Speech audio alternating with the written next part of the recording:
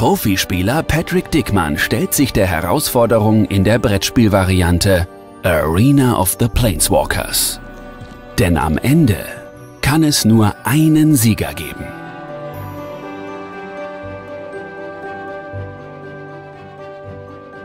Arena of the Planeswalkers ist das erste Brettspiel im Magic-Universum. Jeder Spieler übernimmt die Kontrolle über einen Planeswalker und dessen Armee. Die einzelnen Planeswalker verfügen über sehr unterschiedliche Zauber- und Fähigkeiten-Sets. Äh, diese können zum Teil offensiv ausgerichtet sein oder auf Manipulation abzielen. Das heißt, zuallererst sollte ich mich fragen, welchen Stil ich überhaupt verfolgen möchte.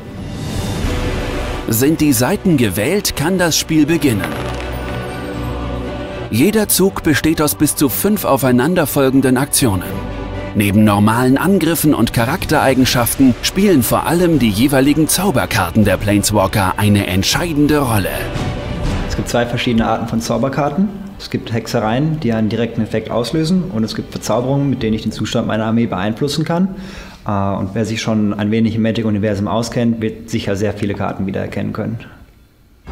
Zauber sind das entscheidende Element, um den Gegner zu schwächen und die eigenen Truppen zu stärken.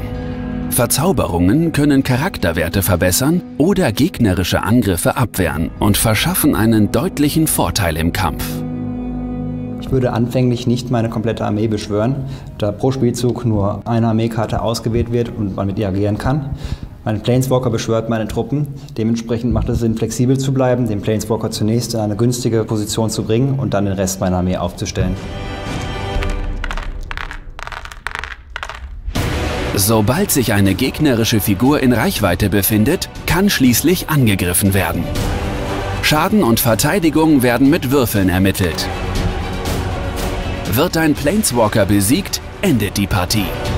Doch unzählige Spielvariationen für bis zu fünf Spieler und zusätzlich erhältliche Erweiterungen locken immer wieder zurück in die Arena of the Planeswalkers.